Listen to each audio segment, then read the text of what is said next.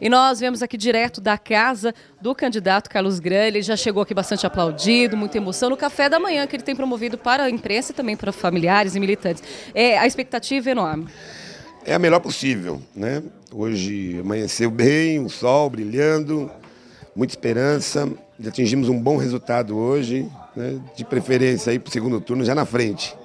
Né? E agradecer principalmente a todos que participaram da campanha, que estão torcendo e deixar agora na mão do eleitor ele que vai decidir o que é melhor para Santo André. Já pensando num possível segundo turno, já começa uma articulação total? Como que acontece? Com certeza, né? Ao fechar as urnas, anunciar o resultado, nós já vamos procurar alguns candidatos que estão concorrendo agora ao primeiro turno, a vereadores, a prefeito, e a partir daí construímos aí um processo do segundo turno que é curto, né? Dia 28 já temos eleições novamente. Agora vai para votação. Já tem militantes lá esperando?